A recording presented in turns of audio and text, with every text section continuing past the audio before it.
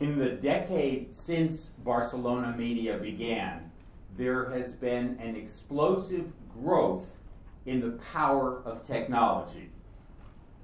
Growth in storage, growth in broadband, growth in speed, and explosion of technological power that has caused an explosion of information. Today, there is an estimated 1.8 zettabytes of information. That's 1.8 trillion gigabytes. That's as many bits of information in the digital universe as there are stars in the physical universe. Every two days, we create as much information as we did completely until the year 2003.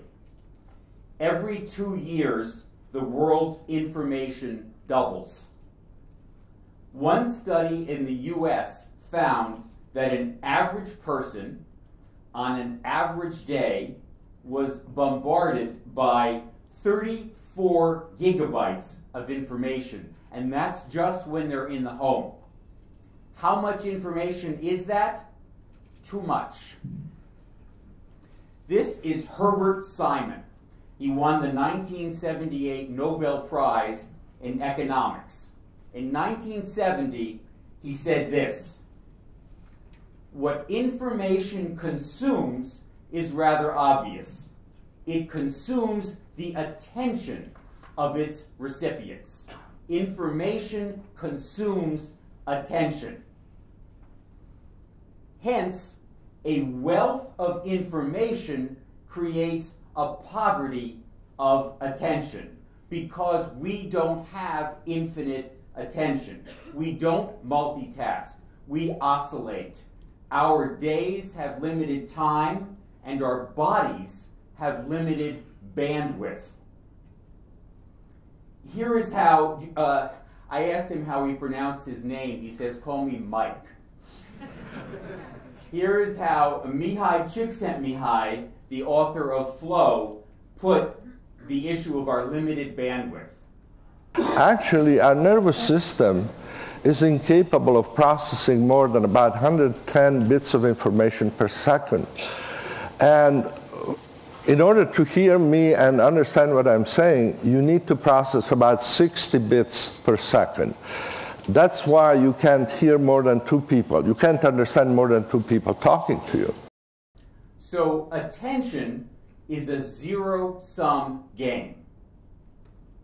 And uh, Simon, a wealth of information therefore creates a poverty of attention and a need to allocate that attention efficiently among the overabundance of information sources that might consume it.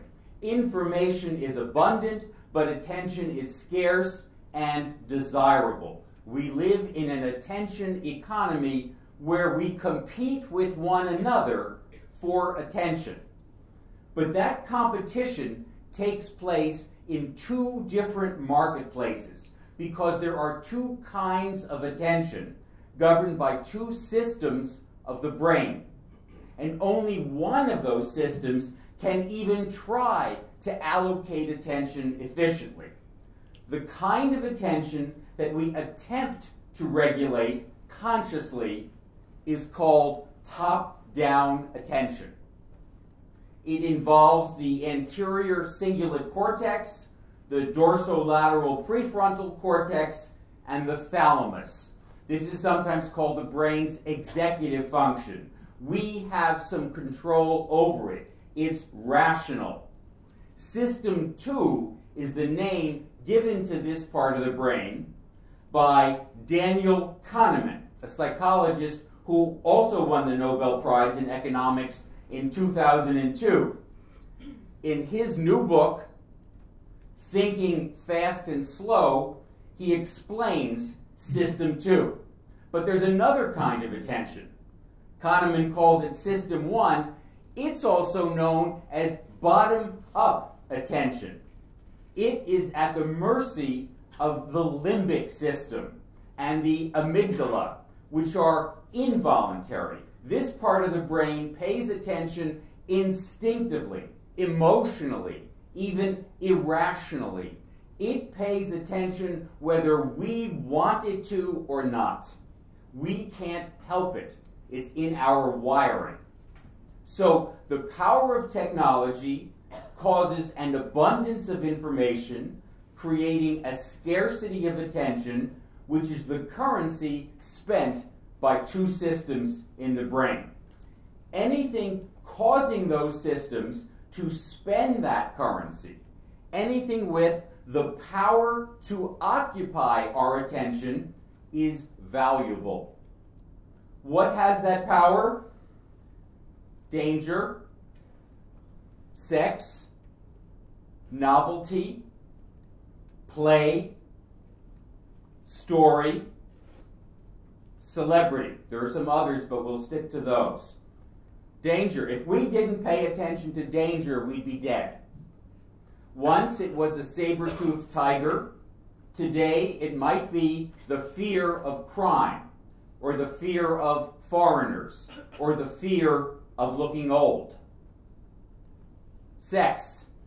We are programmed to desire. A sexy person or a sexy object automatically makes our head turn. Novelty. 50,000 years ago, people survived because they noticed what was new. Neophilia, the, the attraction to the new, is in our brain. Today in the US, I don't know how it is here, but every other product on the supermarket shelf shouts new because that's what catches our attention. Play. We played with toys when we lived in caves. We are born to play. Our attention is captivated by sports, by rhythm, by games of chance, by number games and board games. We love visual play, imitation, illusion, magic. We love to play with words, to joke, to make fun of people. The Dutch sociologist uh, Johan Huizinga said that we are not Homo sapiens, but Homo ludens, the animal that plays, and that all of human culture can be derived from the play instinct. Story. If we hear once upon a time, our attention is captured. Scheherazade saved her life by telling stories that never ended. Celebrity. Fame is a magnet. Attention attracts more attention. We look where others are looking. Now, there's a word that means something able to capture our attention. There's the definition in the Oxford English Dictionary. What is it a definition of? Entertainment. That the, the root of entertainment is uh, tenir, to hold. And what is held is our attention. And the content that holds it is entertainment. And the power to do that is not trivial. The power to occupy attention is political power. The first person to notice this and write about it 2,500 years ago was Plato. In The Republic, Plato designed an ideal state whose ruling principles were reason and order. The biggest threat to reason and order was poetry. In ancient Greece, the bards who performed the poetry of Homer were, we would call them, rock stars. They were famous. They competed for big prizes. Tens of thousands of people came. The audiences were driven wild with weeping and cheering. So when Plato says poetry, we should think entertainment. Now, the problem with poetry, Plato said, is that it can enchant an audience. It has access to our bodies. It can bypass our reason. No matter how smart we are, even if we think we know better, our minds are no match for its magic. Poets, he said, water and foster the emotions of sex and anger and all the appetites of our souls. Poetry makes our appetites our rulers when they ought to be ruled. If you grant poetry admission to the Republic, he said, pleasure and pain will be lords of your city instead of law and reason. So in Book 10 of the Republic, he banished the poets. The only way to ensure order was to exile the entertainers. The Romans, of course, welcomed entertainment, the circuses part of bread and circuses, as a way to control people. But Plato and the emperors agreed that the power to entertain is political power. So, thousands of years later, for modern, sophisticated people like us, are we immune to that power? Entertainment still turns us on. It still possesses us. We lose ourselves in it. We are captivated, spellbound, entranced, enthralled. Enthralled means literally enslaved.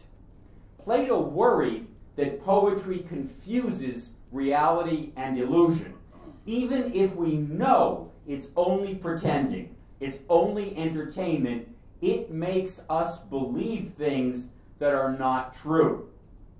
Surely we have evolved past that, haven't we? Do you know the TV series 24? One of its, in one of its best known storylines, Jack Bauer interrogated terrorists. Torture as a tool. It's used often and effectively in the Fox TV counterterrorism drama 24. Four CCs. That's 24's good guy torturing his own brother. Jack Bauer, the tough, sensitive undercover operative, justifies his actions to save America from Islamic extremists who have just detonated a nuclear bomb in Los Angeles. The United States military is concerned about it because uh, they've started receiving evidence that soldiers in the field have been impacted by it downrange in Iraq, utilizing uh, techniques which they've seen on 24 and then taking them into a environment in the interrogation booth. That's why the dean of the U.S. Military Academy at West Point flew to Hollywood to meet with the writers and producers of 24 to explain that real U.S. soldiers, instead of paying System 2 attention to their teachers and textbooks, instead of learning that torture is wrong and produces false information, instead of that, our smartest young soldiers believed what System 1 told them, believed what this fictional, made up TV story told them about torture. We may think that Plato's solution, banishing entertainment, is wrong for democracies, but that doesn't refute his case that the power to entertain is political power. Now, the entertainment industry, of course, doesn't think of itself as a curriculum or an agent of political power. It's a business. When we say that entertainment wants us to pay attention to it, it's not just a figure of speech, not just an idiom. We do pay. Our attention is monetized by the entertainment industry. So the power to occupy attention is not only political power, it's also economic power, which I suppose might be thought of as a kind of political power. The business model of entertainment, as you know, has two parts One is distribution. It sells content, objects, and experiences. Sometimes the transaction is a purchase, and sometimes it's a subscription. Often it's the same content over and over at different times on different platforms at different prices with different profit margins. The other part of the business model is advertising. The industry sells the attention of audiences to advertisers. Now, ads are also entertainment. Like the content that they're embedded in, they want to capture our attention with stories, images, and music. They play on our fears. They arouse our appetites. They can bypass the system 2 radar of our reason and go straight for system 1. I'm going to show you one ad. As you watch, try to pay attention to the voice. When you're depressed, where do you want to go? Nowhere. Who do you feel like seeing? No one. Depression hurts in so many ways. Sadness, loss of interest, anxiety. Cymbalta can help. Cymbalta is a prescription medication that treats many symptoms of depression. Tell your doctor right away if your depression worsens, you have unusual changes in behavior, or thoughts of suicide. Antidepressants can increase these in children, teens, and young adults. Cymbalta is not approved for children under 18. People taking MAOIs or thioridazine or with uncontrolled glaucoma should not take Cymbalta. Taking it with NSAID pain relievers, aspirin, or blood thinners may increase bleeding risk. Severe liver problems, some fatal, were reported. Signs include abdominal pain and yellowing of the skin or eyes. Talk with your doctor about your medicines, including those for migraine, or if you have high fever, confusion, and stiff muscles, to address a possible life-threatening condition. Tell your doctor about alcohol use, liver disease, and before you reduce or stop taking Cymbalta. Dizziness or fainting may occur upon standing. Side effects include nausea, dry mouth, and constipation. Ask your doctor about Cymbalta. Depression hurts. Cymbalta can help. Those warnings are required by the government. They're terrifying. Why would anyone want that drug? The answer is that system one in our brain is more powerful than system two. We are spellbound by the story that we see and feel. We are entranced by the music and the images. We may hear the words, but we think the pictures. That's why companies buy audiences to gain direct access to the automatic, instinctive, bottom up, emotional, irrational attention. In the US television industry, the amount of money that an advertiser pays for 30 seconds of attention has traditionally been based on two metrics how many eyeballs the ad is exposed to, which is to say, ratings, and what kind of people those eyeballs belong to, demographics. Ratings count the number of people and the time they're exposed to an ad. Demographics segment the audience by age, geography, sex, race, and so on. This data has traditionally been collected by firms like Nielsen, mainly Nielsen, from surveys, panels, diaries, test audiences, and so-called people meters that are on top of their television that Nielsen gives them. The currency of advertising, the cost per thousand viewers, is determined by the demographic desirability of the audience. And the most coveted of all demographic segments is aged 18 to 49. Since the 1980s, based on weak evidence, this segment has been believed to possess the most disposable income and to be the most open to new brands. The 18 to 49 demo is the most expensive to buy and the most profitable to sell. But the explosion of digital technology has disrupted this system in two ways. First, competition. More content on more platforms means more competition for attention. That makes audiences smaller, harder to find, and more expensive to count accurately. The second way technology has disrupted the business model is control. Today's audience has more autonomy, more control over what, where, when, and how it consumes entertainment. And because consumers can now also produce and distribute content, the idea of the audience has changed from passive to active. Let's look at each of these in turn. First, competition for audience attention.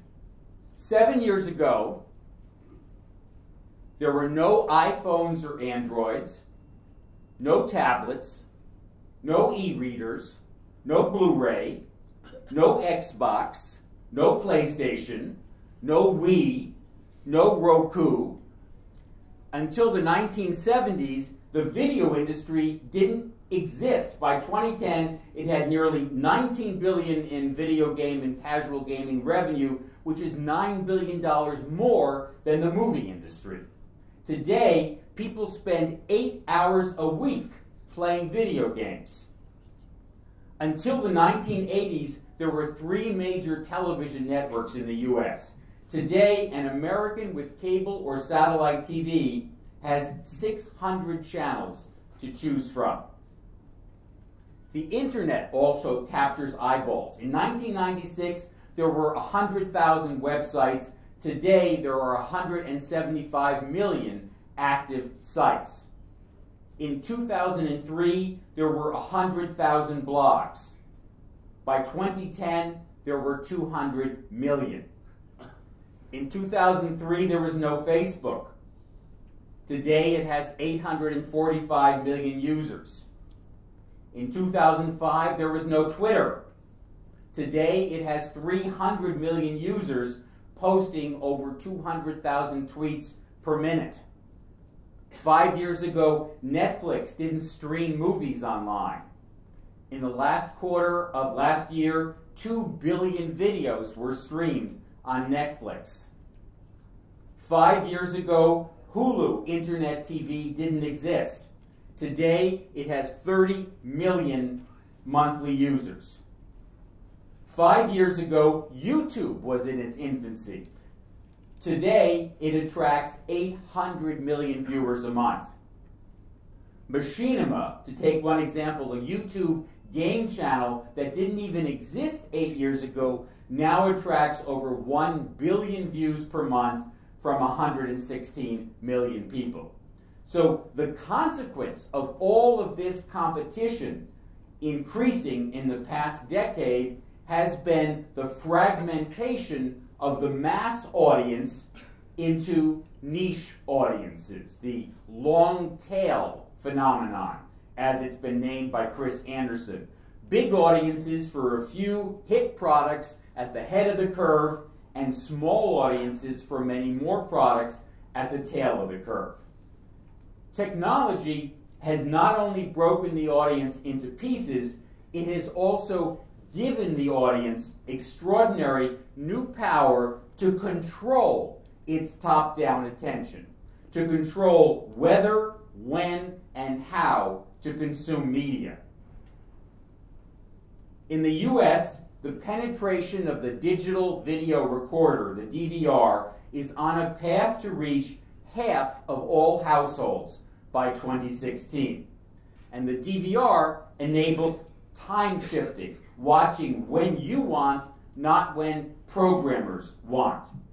Uh, the DVR also enables ad skipping, fast forwarding instead of watching ads.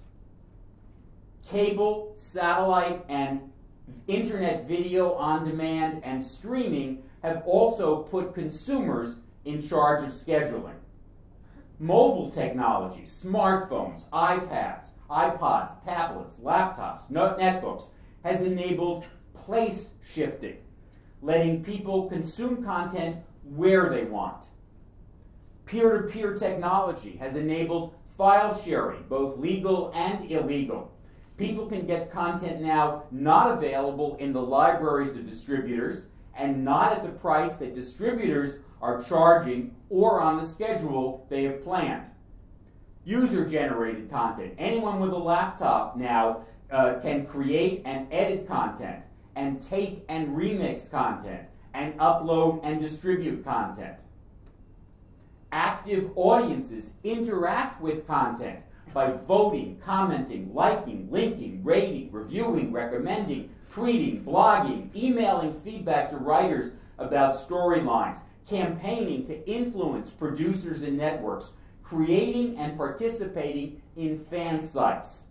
So, technology has created new platforms, new content, new competition, and a new autonomous audience able to contribute to content and control its consumption.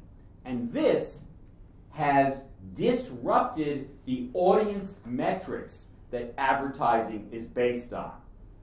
When there are more places for people to pay attention, it becomes harder to count them accurately without spending more money to increase sample size. But as Professor Philip Napoli points out in his book, Audience Evolution, the same technology that has increased audience control of content has created a new source of data for content providers about their relationship with content. As people control content, as they interact with it, they create what is called traces or return path data, rich new streams of data about who they are, what they think of the content, and how it affects their behavior. The metrics of return path data provide a new currency for valuing audiences engagement. There are dozens of definitions of engagement and metrics for it, and companies measuring it, but they have a few things in common.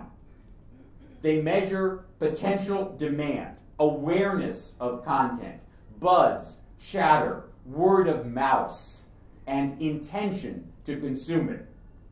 They measure appreciation of content, sentiment, emotional response, evaluation, opinion. And they measure behavior, what they did with the content, including the most important behavior, spending money. So, what are the sources of this return path data? DVRs and cable and satellite set top boxes provide a second by second record of what people view, pause, time shift, rewatch, and fast forward. Data can be collected from DVR menu interfaces, online program guides, and search engines. Data comes from cookies, from apps, from GPS trails, from deep packet inspection, from server logs, from sentiment analysis of Facebook, Twitter, blogs, forums, discussion rooms, and fan sites. From liking, linking, sharing, rating, tagging, inviting, commenting, recommending. From voting, emailing, and texting, and instant messaging to shows. From user production of content, like remixes from clicking on ads, requesting more information, winning virtual badges, taking part in contests and games.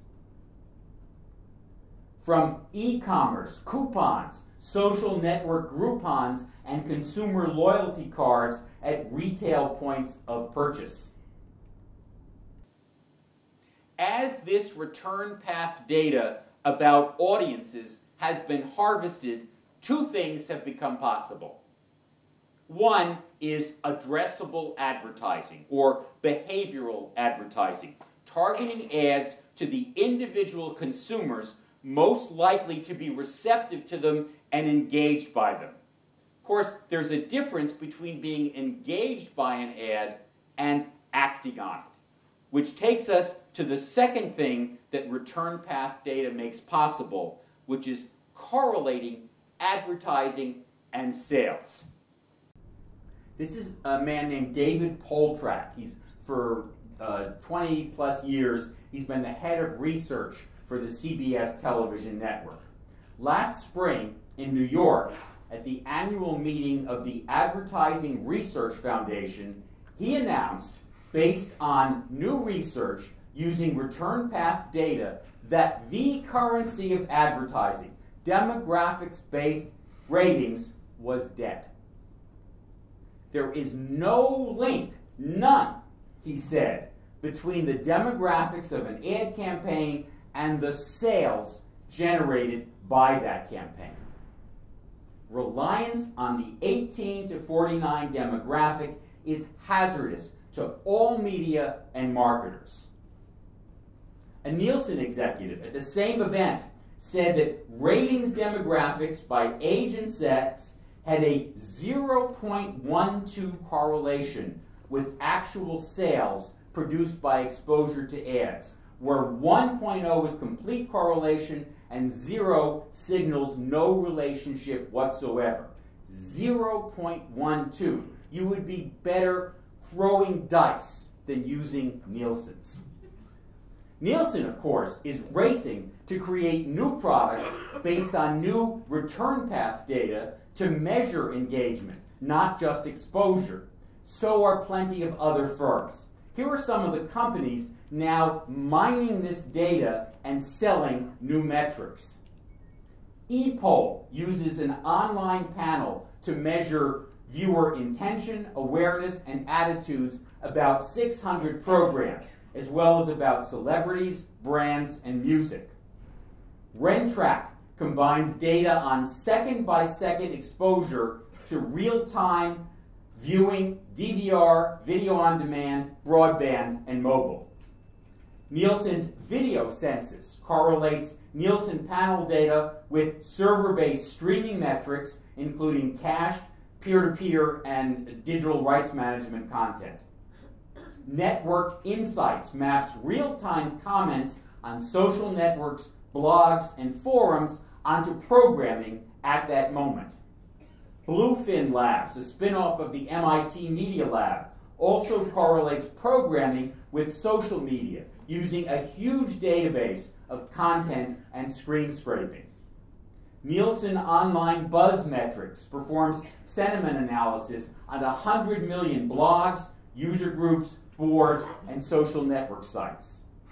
Digital Analytics, a ComScore product, analyzes Twitter, YouTube, mobile browsing, clicks, streaming, and apps.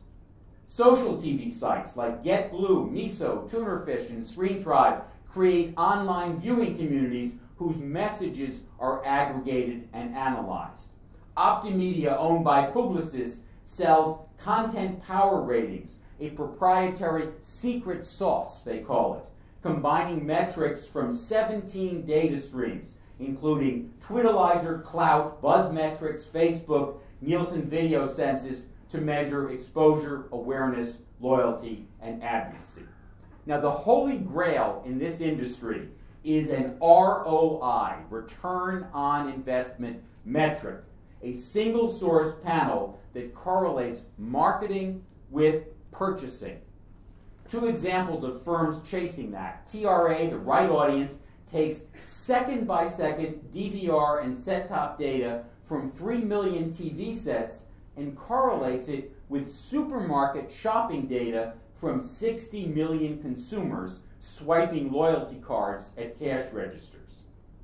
Nielsen Catalina Solutions is a joint venture between Nielsen and Catalina's 60 million households of frequent shopping data.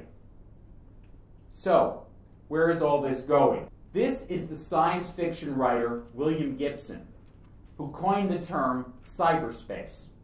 In 2003, he said that the future is already here. It's just not evenly distributed yet. I think there are two futures for the attention industry, each in tension with each other, and both already here. One is big data. The other is big democracy. We live, says the New York Times just a couple of weeks ago, in the age of big data. The direction we are heading is more return path data, more engaging content, better engagement metrics, better models of the audience, more addressable advertising, more return on investment for advertisers, and more revenue for media. I'll give you some examples. First, more return path data from biometrics. Today, biometrics is used only in research settings. Companies like Affectiva use what they call an Affdex for face and eye movements, and the Q sensor 2.0 for skin conductivity. Neurofocus uses a dry, wireless electroencephalogram to measure brain waves of viewers during TV programming and advertising. It's easy to imagine that soon, via cameras and touch screens that are already ubiquitous, that biometric return path data will be universally available. You can imagine people volunteering this data gladly in exchange for coupons or free music and videos. Second example, more engaging content grown on content farms. Content farms scrape the internet to generate keywords that their algorithm predicts will get quantifiable search engine traffic and quantifiable advertising revenue. Based on that projected ROI, they go to freelance contributors and they order up content that uses those keywords in text and videos. Typically, the articles and videos are very short, 200 to 300 words, two to three minutes long, and the creators get as little as 10 to $20. They're posted on sites owned or licensed by the content farms, along with advertising geared to the content. The big players now include Demand Media, which works with 7,000 contributors who produce 5,000 articles and videos a day, all based on this algorithm, which gets 61 million unique visits a month. Seed.com, owned by AOL, posts content on more than 80 sites within the AOL network. Yahoo Voices has over 600,000 contributors who get bonuses based on the traffic that their work gets. What are the stories about? Well, articles include recently tips for buying a touchscreen monitor, how my backyard is saving me money, if Justin Bieber was a Shakespeare fan. The videos include cooking for dads, stay warm in Alaska, eight steps to powerful blessings. It's easy to imagine what's next. A wider range of genres like comedy acts, mini drama, animation, with content generated on demand, financed upfront by advertisers, and produced not only by amateurs and freelancers, but also by networks and studios. Another example analytics as entertainment. This is David Verklin, the CEO of a firm called Canoe Ventures, a company that adds games, contests, and polls to ads to make them more engaging. He noticed that when they reported the results of the polls to the audience, their engagement increased. We are hungry for data about ourselves. As he put it, data is the new creative. We love it when sites tell us what their analytics tell them about us. We want to know what's the most popular, the most emailed, the most commented on. Uh, there's a dating site called OKCupid, and it told its users what it had learned from them that people with iPhones had the most sex on a first date, and people with Androids have the least the more surveillance we permit, the more sticky content we enable. Another example algorithms as entertainment. There's a, a website called hunch.com. If you, uh, the word hunch, uh, uh, premonicio, intuicio is the uh, translation of that. You go to hunch.com to voluntarily give data about yourself. Recently, I did this for the first time. Here are some of the first questions I was asked. Are you named after another family member? How do you feel about cheese? How do you greet someone? Should schools counsel parents when their child is significantly overweight? What does your closet look like? What do you use as an avatar or profile picture? And then you click on a button, and based on your answers and everyone else's answers in their database, they recommend products you might want to buy. Well, my eye was caught by a pair of shoes that I liked. I clicked on it, and then I saw if you like this, you might also like these. I did like it. So I clicked on another pair, and another, and another, and another. And I liked them all. And without realizing it, an hour had gone by. I was completely entertained. And I bought these shoes. I believe big data will lead us to understand that the mass audience is not dead. It is networked, dynamic, and global. Mass audiences are big but temporary. They are constantly forming and reforming. People belong to an unstable set of virtual tribes built around entertainment. We belong to transnational fan communities. Our tastes in entertainment, our engagement with media are markers of our identity.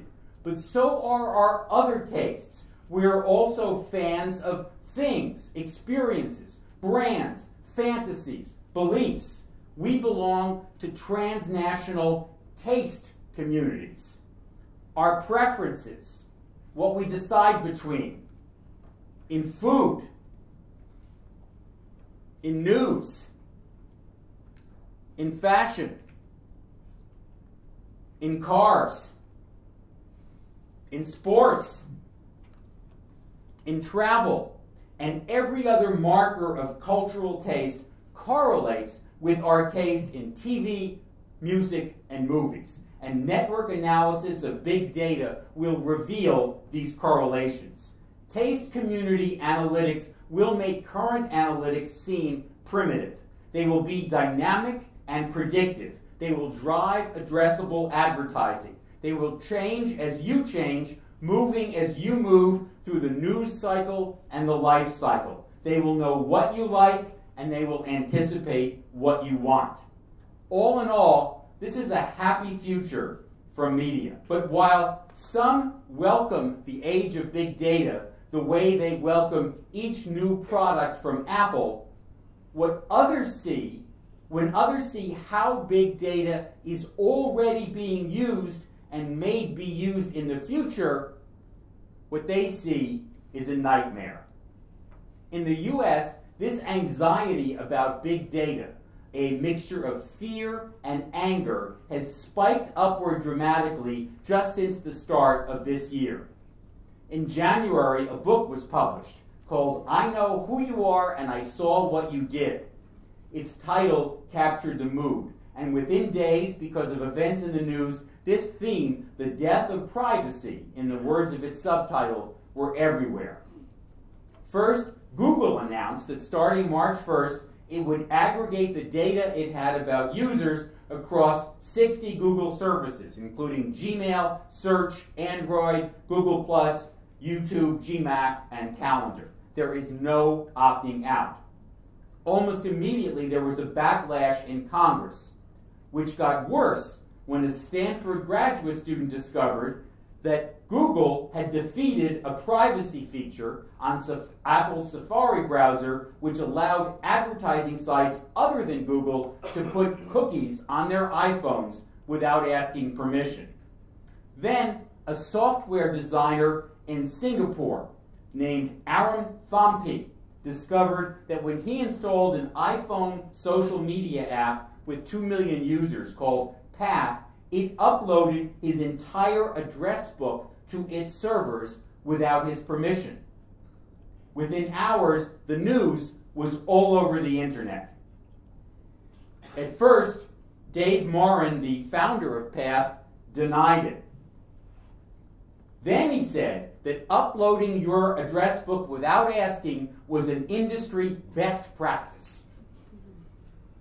Then he apologized and said they would delete all the address book data. Then it turned out that Path wasn't alone. Twitter users were surprised to hear that when they clicked on Find Friends, it meant that they were uploading their address books to Twitter, which was keeping it for 18 months. That became front page news. Then it turned out that a number of other popular Apple apps like Yelp and Gowalla were also sweeping up user data. Again, Congress pushed back. Apple admitted that their app policy requiring user permission to upload contact information was being violated and said they would enforce it better. But then it turned out that app developers could upload all your photos without permission either. Since then, the news media have been in an uproar about identity and privacy and terms of service agreements. Instead of articles about how great it was that exposure to advertising could be correlated to loyalty card data about consumer purchasing and create addressable advertising, instead of that, there was this Hey, you're having a baby. It's the story of a statistician at a big American retailer who was asked by the marketing department if we wanted to figure out if a customer is pregnant, even if she didn't want us to. Can you do that? The answer is yes. And there's nothing to prevent them from selling their list of who's pregnant to anyone. But the debate has gone beyond privacy to the issue of ownership. Who has the right to monetize my data? This was brought into focus by Facebook's initial public offering of stock, raising $10 billion and a valuation of $100 billion. That provoked the question why does Facebook get to use my story, my friends, my content to make money? The Facebook business model, Facebook is free in exchange for mining your data to sell addressable advertising, was suddenly in question. Users were asking, why don't I own my own clickstream? We're giving Facebook personal data worth billions of dollars. Where is our cut? In the US, there are no federal laws spelling out the control and the use of the online data trail of people's personal identity.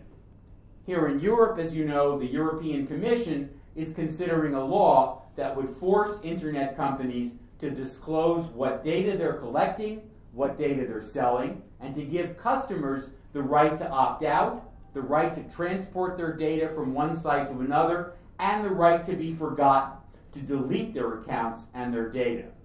Now more Americans are asking, why don't we have attention rights? And this has brought new energy to a movement to empower people to own their data and control its, demo- its privacy.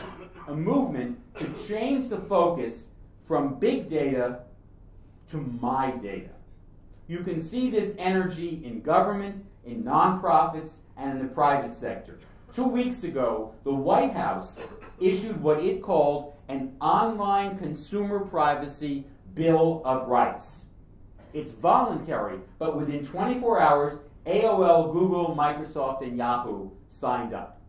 On the same day, the Attorney General of California announced that California's Online Privacy Protection Act, the strongest in the country, will now apply to mobile apps, which had no privacy protection before. Google, Microsoft, Amazon, Hewlett Packard, and Research in Motion immediately signed on. Many nonprofit groups have been trying to build this movement for a while now, including ID Cubed, Creative Commons, Identity Commons, Open Sensing Framework, Open OpenID, Open ID, Open Identity Exchange, Identity Commons, the Locker Project. What they have in common is the use of technology to create some kind of data locker. This is ID Cube's platform, a vault that's secured and protected by you and that would hold all of your personal information in one location. I focused on privacy and ownership as the focus of resistance to big data. But it's the larger context that I want to end on the tension between big data and big democracy. I spoke earlier about content farms. They're part of a pattern in the U.S. news industry, a shift in editorial power from push journalism, which publishes information that editors think people need to know in order to be well informed, responsible citizens.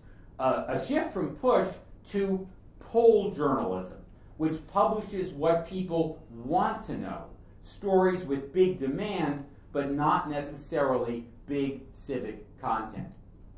A few weeks ago, this was the cover of Time Magazine's European edition. This was the cover of its Asian edition. This was the cover of its South Pacific edition. And this was the cover of the US edition.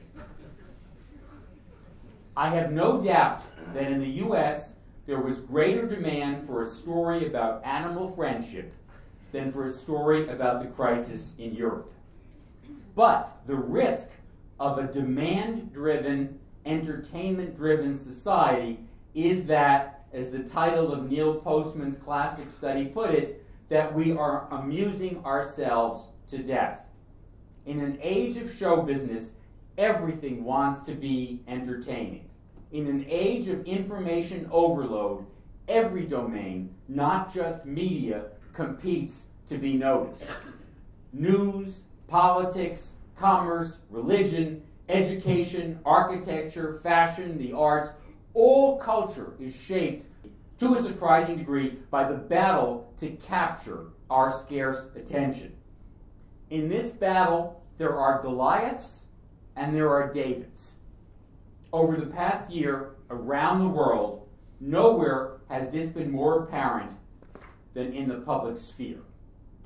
To occupy attention is to set the public agenda, which is to say, attention is not only there to be monetized, attention is there to be mobilized. From the Arab Spring to Russia, from 15M to Occupy Wall Street, this mobilization of attention is resetting the public agenda. Plato would denounce this challenge to order. The poetry of the streets, he would say, is too dangerous a power. You may agree or disagree with the message of these movements, but there is no denying that the pictures they are making and the stories they are telling have captured the attention of the world. And speaking of attention, thank you very much for yours.